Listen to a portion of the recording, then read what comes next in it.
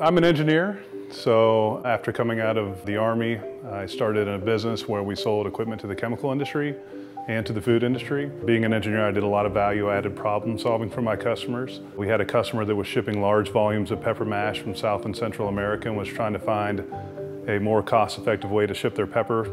They asked me to help them find a solution to do that. After many years of trial and error, we figured out a system to be able to ship it very cost-effectively, and it worked. Chris White, our founder, invented what's called a flexi tank.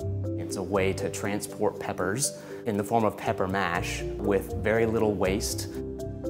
Chris invested his own time, his own money, and developed a system that saved that company millions of dollars a year.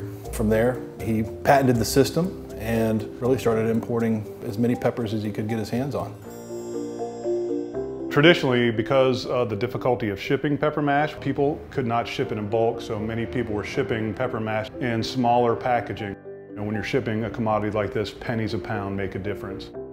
Being able to ship it cost effectively in a 20 foot container in the flexi tank and get it out efficiently because we're located right next to the port offers significant benefits. So we can really bring pepper mash cheaper here than anybody in the world.